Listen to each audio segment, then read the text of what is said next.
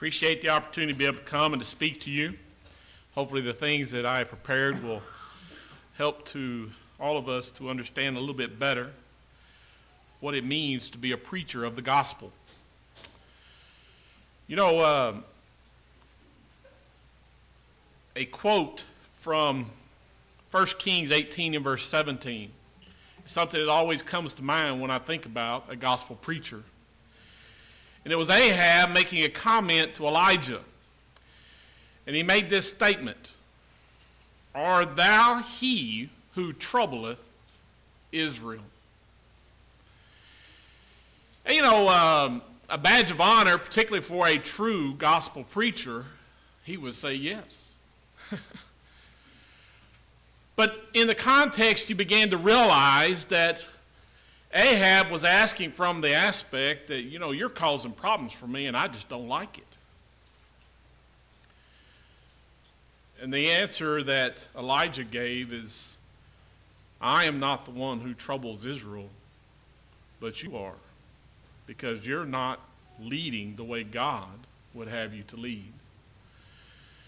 And that gets us into the idea of what a gospel preacher is. You know, a casual look around our world today, and we see all kinds of preachers, not only in the Lord's church, but also in the outside world, in the secular world, denominationalism. You see women, you see young men. I've even seen five, six year old boys where they've got them on YouTube and other things like that up there just dancing around and screaming and hollering and slobbering all over themselves. And they call that preaching. The styles of preaching always will be varied depending upon the individual. Some uh, may be more monotone, some may raise their voice, some may slap the pulpit, some might do a lot of other different things. We're not talking about styles today. We hire a lot of preachers today to evangelize. We want them to grow our numbers, keep regular office hours. You see, that's what's in the mind of a lot of people that sit in the pew as to what I'm concerned about with hiring a preacher. They need to visit all of our sick. They need to visit those who are out of duty. We expect them to be on call 24 7. And sadly, particularly in the Lord's church, we want to keep them poor so that way they have to keep coming back to us to get what they need. We want an entertainer. We want an educated businessman. The list goes on and on and on of all the things that people may say that a gospel preacher ought to be and all that that means. But today we're not here to talk about style or their polish or even education. But I want to talk about three, th- three things, but two things in particular we're going to. Uh, my wife looked at this sermon went over it. I tried to get other people to kind of give me some feedback. And she said, You know, your introduction is three pages long. And I said, Yes, I know. I've got to figure out a way once I get up there how to cut all this out. So I'm going to hit some highlights as to answering two questions in particular what is a preacher and what is his job? And then lastly, we're going to talk about the aspect that we're getting at, and that is what is he to preach? What is a preacher? Well, in the Old Testament, many of them were called prophets. It all boils down to the idea, and particularly in the Old Testament, where God would directly reveal to a man as to what he was supposed to say to someone or write down, that kind of thing. And therefore, he was to present that and only what God told him to do.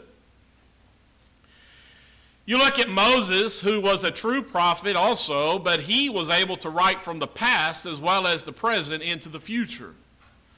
One of the few prophets that ever did that. Because we know that he wrote several books that were from the past that had to be revealed to him because he wasn't there in the beginning. But he wrote about it. They are inspired.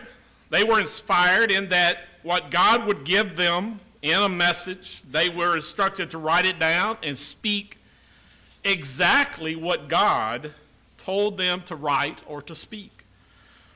They were troublers. They were people who spoke the truth. They told people what God wanted them to know, either positive or negative. And many times, as you know, particularly reading through the Old Testament prophets, a lot of it was negative, trying to make people change, to come back to God before it was too late. The word preacher just simply means a person who is a heralder or a, a person who speaks from divine truth, especially of the gospel, particularly in our age, and it comes from the word keros. And in his work, in this work is learned that, first of all, he's a person who learns how to communicate. He's communicating something to us. He's one who teaches divine truth. He is one who speaks with authority from the scriptures. But that is delegated authority. He does not have the authority to change that message. Only what God has commanded him to say. And in 1 Timothy 4 and verse 6, we're told that he is to be a good minister. And in that means that he needs to be willing to remind the brethren of sinful actions and how to correct them. It was used to describe many men in the Old as well as in the New John the Baptizer, Jesus, the apostles, Philip, Paul, Noah, and Stephen, just to list a few. But he's also called a minister. He was translated the idea of a deacon or a minister or a servant. And it's not limited just to preachers in this word, but it is a word that is given over to talking about preachers also. Yet it is often used to describe those who preach and teach, talking about Paul or Epaphras or Timothy. The preacher is also called an evangelist, euangelion or euangelios, gelios. Literally a bringer of good news. But there are words that do not describe the preacher. You won't find them in the Bible. But people use them all the time. They call them reverend. They call them fathers. They call them pastors.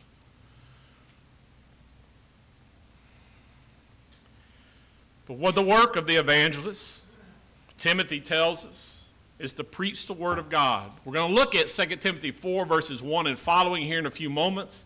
As we progress, I'm just going to allude to it for the moment. But we will get into 2 Timothy 4. He's to preach the Word of God. He is to instruct the brethren of their responsibilities, 1 Timothy 4 and verse 6. In matters of prayer or modesty, the roles of men and women, 1 Timothy 2 verses 1 through 12. In matters of personal and family obligations, their du business duties, Titus 2 verse 1 through 10. And he's also to reprove them, those who are in sin, even elders, if need be. 1 Timothy 5 19 through 21. He is to set in order things that are needed, encouraging the appointment of elders. 1 Timothy Titus 1 verse 5.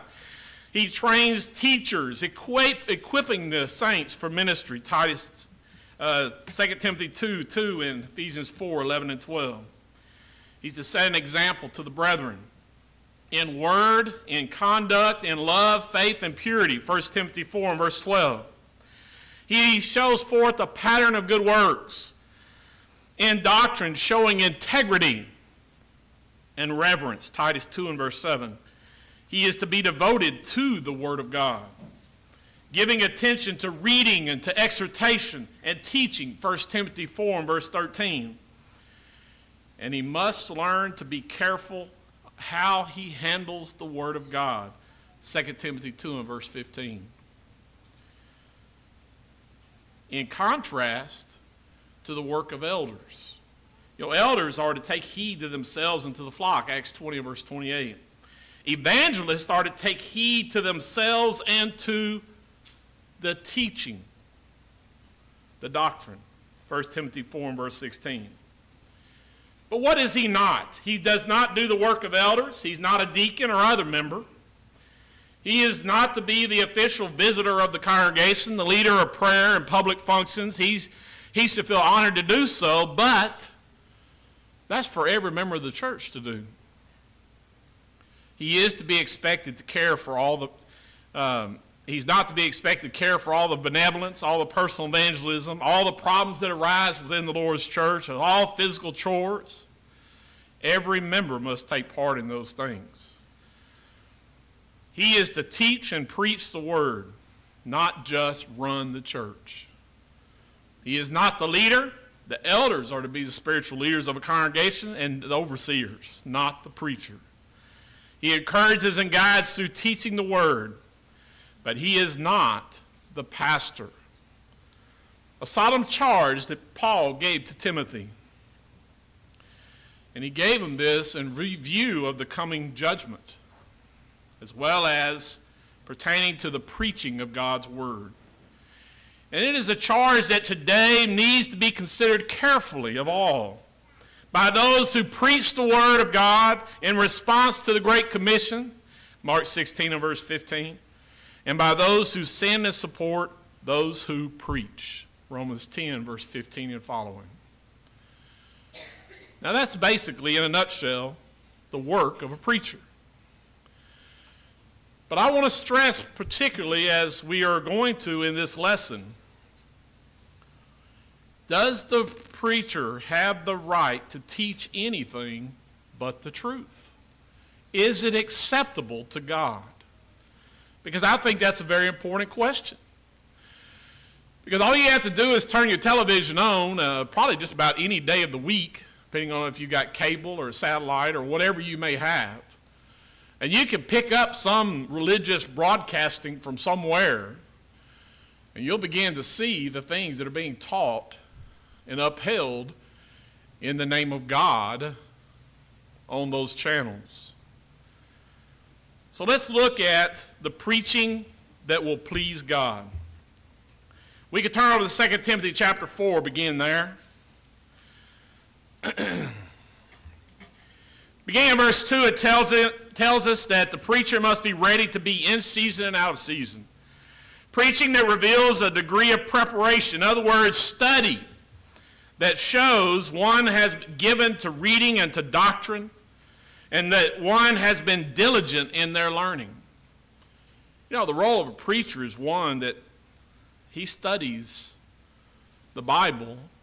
Like many of us in secular work, we study the manuals of our jobs. Well, this is his job. He's a proclaimer of the Word of God.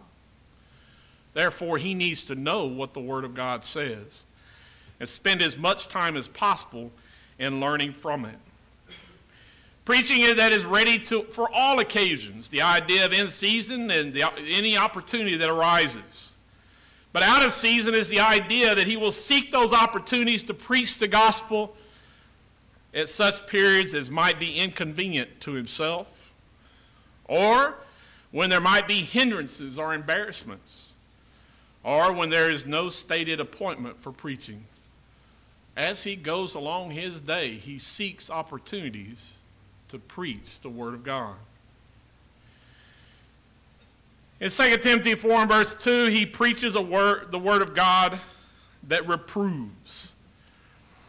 To such, in this idea, he uses arguments that might convince men of the truth of religion and of their need to follow it. You know, I'm reminded of Jesus in John chapter 6, verse 60 through verse 69. Jesus has just gone through and dealt with the Pharisees, and he looks around. His disciples that are staying there with him look around and they see their numbers are dwindling. People are just leaving him. They're not wanting to stick around and hear all the things that he's saying. And they look around and they say, What, you know, what's going on here? And Jesus said, Do I offend you? Have I offended you?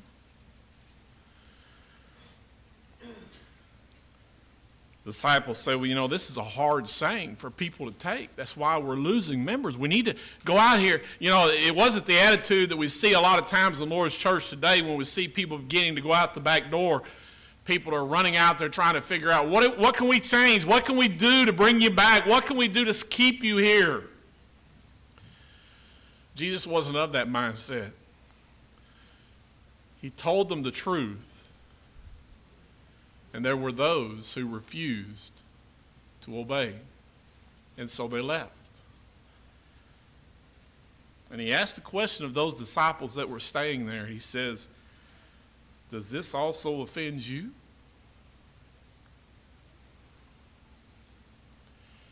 You know, a lot of people in our world today have a mindset of a gospel preacher that he needs to be somebody that's very nice to people. He needs to be loving. He needs to be a big old teddy bear. And he doesn't need to be a person that's going to say anything that's going to cause anybody harm or cause anybody to, to feel bad about themselves. But Jesus didn't have that attitude. And Jesus was the master teacher. He is the one whom we are to emulate, to follow. And we don't go out of our way to offend people. We don't go out of our way to do any of those kind of things. But you know, the truth, spoken in its simplicity, is going to cause problems for those who refuse to give up their sin. It always will. And you know, I've always said that if you've never gone through life hearing gospel preachers and at times in your life you haven't been mad about what he said, that either you're not listening to what he's saying or you're in denial in your sin. Because a true gospel preacher will preach and teach things that's going to cause people to get upset, to be mad, to be angry you know, we make a joke among preachers who have preached full time, you know, well, you know, I got up there and preached a moving sermon.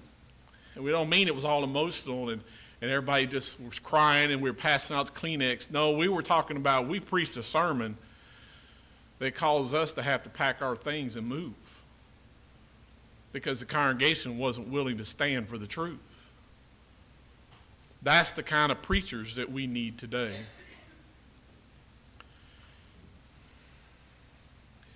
preaching that convinces or reproves.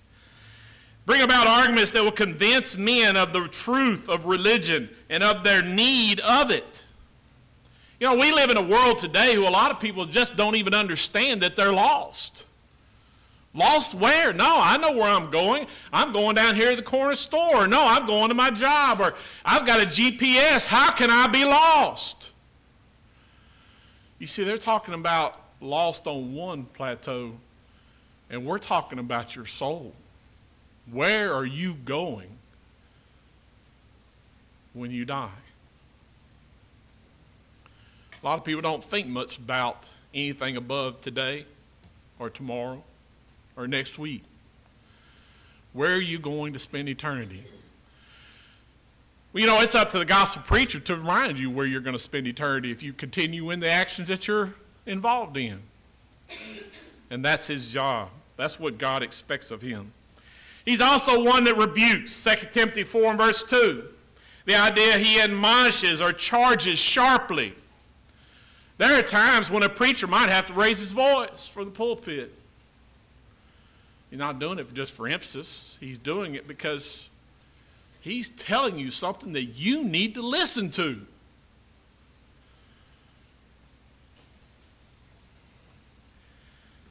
the idea of chiding them for sin.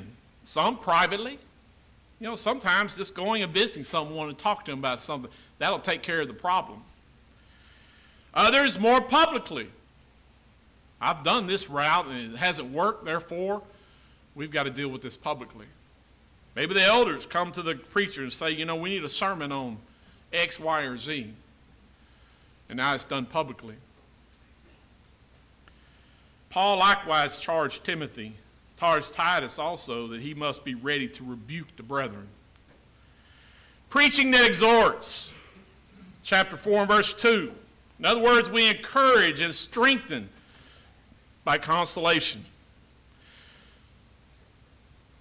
Number five, teaching that is long suffering. Patient, forbearance, long suffering, slowness in avenging wrongs. The idea you know, some people, in calling out wrong, will change it immediately. Others, there may be some unwinding that has to happen. I can't just today change this. It's going to take a little time. Or I might have to sit down and talk to them a little bit further show them more from the scripture. That's what they need to do. But ultimately, we teach with long suffering. And then in chapter 4 and verse 2, it says, and in teaching or doctrine, the idea of instruction, that which is taught, doctrine, teaching concerning something, the act of teaching, instruction.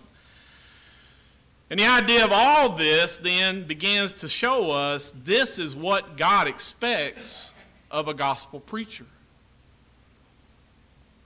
He's to preach God's word and only God's word.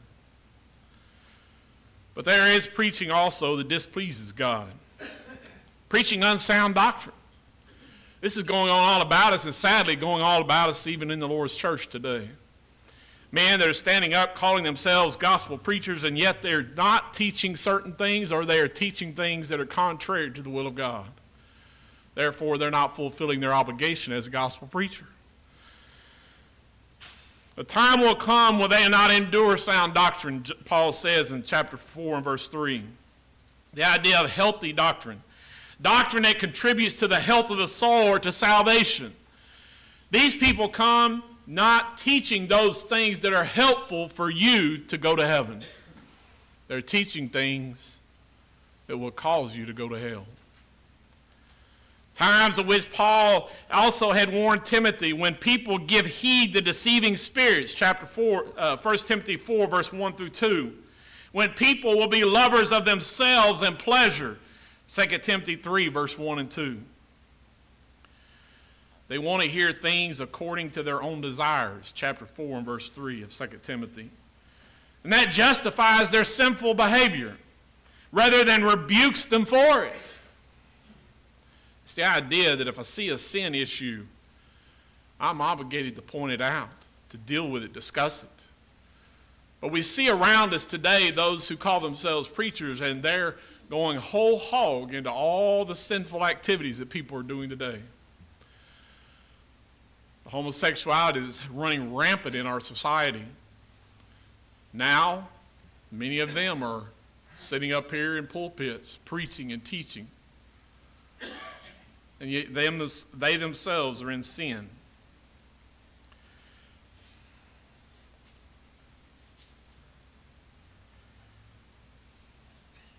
They also preach to entertain. In 2 Timothy 4, verse 3, it talks about people who have itching ears. They love to have their ears scratched and tickled from smooth things. They are pleasing and agreeable to natural men.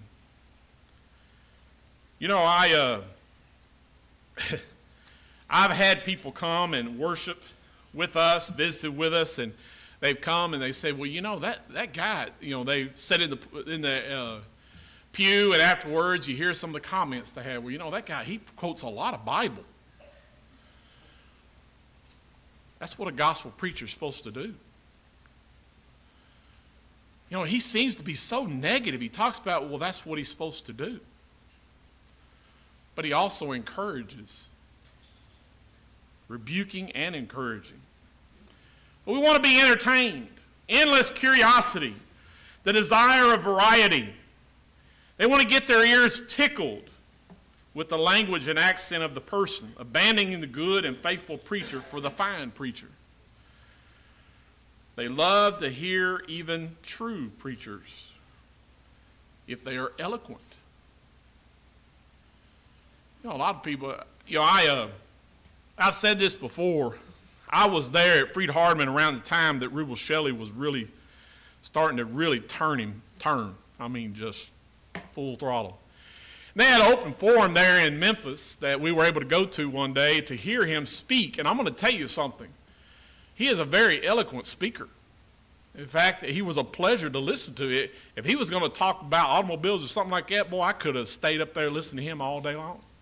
He's just that kind of speaker. The problem is, he was holding a position that is false doctrine. And he was giving his side of it. Eloquence, education. We place a lot of emphasis on those kind of things. Now that we have so many things that take away our uh, our minds today. You know, we've got all the little gadgets and things that we can spend so much time on. And so if we're going to have to listen to somebody, man, you need to be entertaining. You need to tell us something that's going to make us feel good, keep our attention. And we see this coming out in a lot of ways because people are now going out the back door in droves because y'all won't change. It needs to be more entertaining. We can't be here. And they go down the street to some place.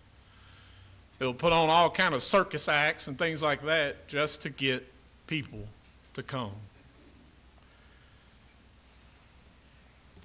They heap to themselves teachers, 2 Timothy 4 and verse 3.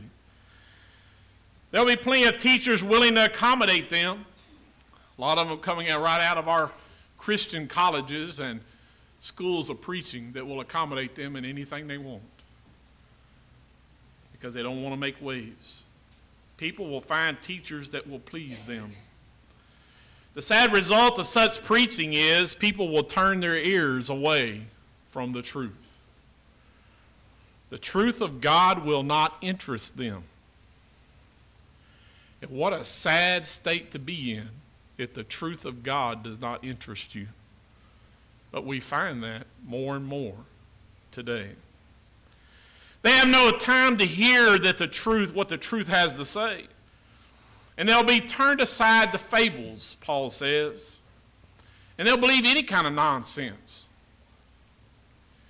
You know, the truthfulness is that people will reject the Word of God, but they'll believe in all types of witchcraft, UFOs, channeling, and all manner of things. People reject the gospel of Christ, but they will accept religious traditions of men. Not unlike the time of Jesus.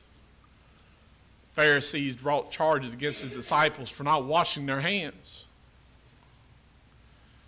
You see, you you're not making them wash their hands, and, and that's a tradition that was passed down to us from our fathers. And Jesus said, But you're the words you ought to be listening to are what God says not what your fathers say. You see, they pass those traditions down. People reject sound doctrine, but they accept unhealthy teaching that endangers not only the body, but also the soul. In all of this, we realize people who reject the truth are abandoned by the, the just judgment of God because when they leave the truth, they leave God. And therefore, when we think about a gospel preacher and all that that means, he spends his time in the Word of God, memorizing, preparing lessons, preparing studies for classes as well as in the pulpit, for personal Bible study and all manner of things that he does. And he does all those things realizing that he can only speak about that which God has revealed. He doesn't get up to entertain us. He doesn't get up to tell a lot of jokes. He doesn't get up to make us feel good. He gets up to teach us what God wants us to know. Sometimes he may repeat it over and over. But the Bible is full of things that are repetition. The problem is the type of preaching people want to listen to. They listen to be entertained, to justify the lust of the flesh. They do not listen to be saved, to learn the way of righteousness. Those who dare to preach today, those who desire to hear, should make sure the preaching is that which pleases God. The preacher, teachers, have a stern warning that comes to us from the Scriptures.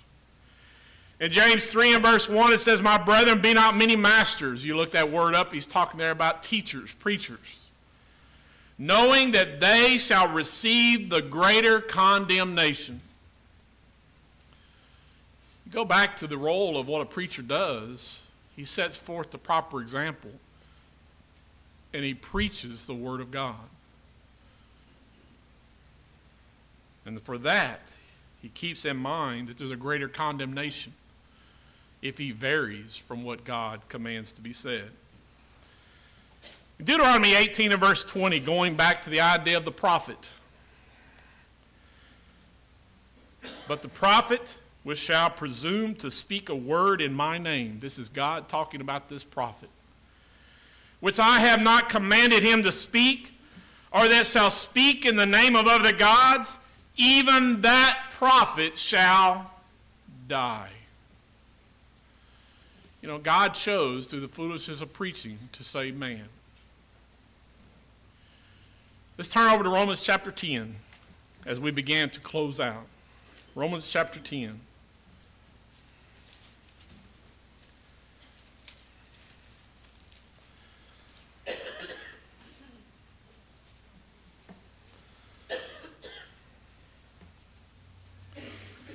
Begin verse 14, well, verse 13. For whosoever shall call upon the name of the Lord shall be saved. Now, you got to keep this in its context. There's a lot of people today who are calling upon the name of the Lord, but they're not doing it the way God commands it to be done. So, how do they know how to call upon the name of the Lord? Well, read the next verse. How then shall they call on him of whom they have not believed? And how shall they believe in him of whom they have not heard? And how shall they hear without a preacher? And how shall they preach except they be sent? As it is written, How beautiful are the feet of them that preach the gospel of peace and bring glad tidings of good things. But they have not obeyed the gospel. For Isaiah saith, Lord, who hath believed our report? So then faith cometh by hearing, and hearing by the word of God. The question of this lecture was Is it unacceptable to God? Because that's the final authority. What is pleasing to God? Is it unacceptable to God for a preacher to teach anything but the truth? Paul addressed it. God's addressed it. And God says it is. It's unacceptable. In fact, in the Old Testament, if you taught something that God did not command you to teach, he said, put them to death. Is this serious? Yes. Souls are at stake. But it also comes back to the idea that as a congregation, as members of the Lord's church, we need to make sure that we hire men that want to preach and teach, that will preach only what God commands them to preach. Nothing more, nothing less. Preach the truth and realize that with it comes consequences because they will receive a greater condemnation.